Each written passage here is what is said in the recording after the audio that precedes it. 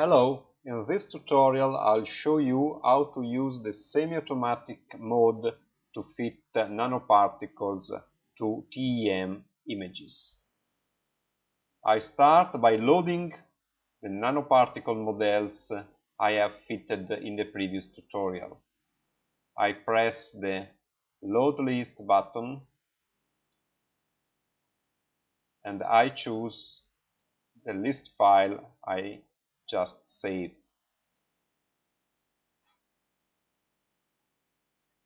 Here in the image you can also see the three nanoparticles I have fitted in the previous tutorial. In this case, nanoparticles are very similar both in shape and in size.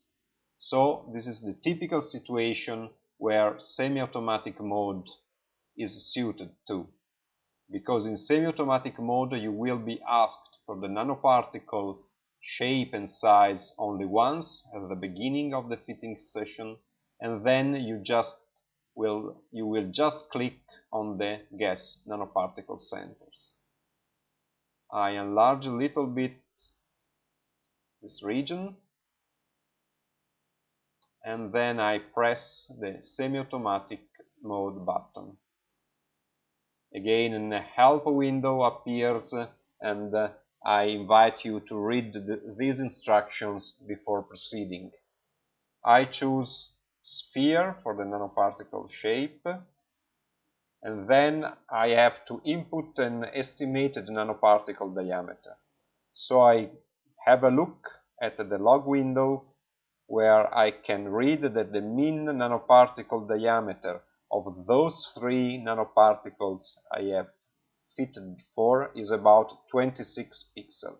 So I input 26, okay, and I select a quadratic intensity model because I saw in the previous tutorial that very dark nanoparticles need a quadratic model. Okay, then I just click on the nanoparticle center.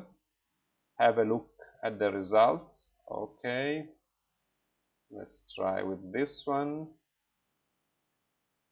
Okay nice. Again. Okay. This one. Nice.